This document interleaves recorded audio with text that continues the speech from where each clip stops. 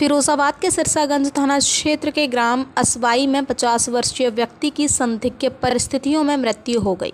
मृतक के चेहरे पर चोट के निशान मिले हैं। सूचना पर एसपी ग्रामीण अखिलेश नारायण सिंह भी मौके पर आ गए। पुलिस ने शव को कब्जे में लेकर पोस्टमार्टम के लिए भेज दिया है। बता दें कि मृतक के बाथरूम में जहर के दो पाउच और शराब और एक डिस्पोजल ग्लास भी मिला है। फिरोजाबाद के थाना सिरसागंज क्षेत्र के ग्राम असवाई निवासी अर्जुन सिंह की मंगलवार को संदिग्ध परिस्थितियों में मृत्यु हो गई।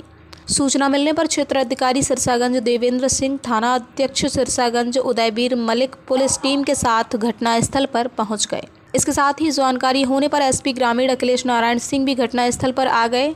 डॉग स्क्वाइड को भी मौके पर बुलाया गया। फ़िलहाल पुलिस ने मृतक व्यक्ति के शव को कब्जे में लेकर पोस्टमार्टम के लिए भेज दिया है और घटना के कारणों का पता लगाने में जुट गई है। थाना सिरसागंज के असबाई में एक पचास वर्षीय अर्जुन नामक व्यक्ति की संदिग्ध परिस्थितियों में मृत्यु हो गई है। जिस चारपाई पर लेटा हुआ था, उसी पर इसका एक बेटा भी लेटा हुआ था और घर में इसकी माँ भी थी। तो चीज़ों को देखा जा रहा है, फ़ील्ड यूनिट डॉग स्क्वाड आ गया है, पीएम कराया जाएगा, जो भी तथ्य आएँगे उसके अनुरूप कार्रवाई की जाएगी।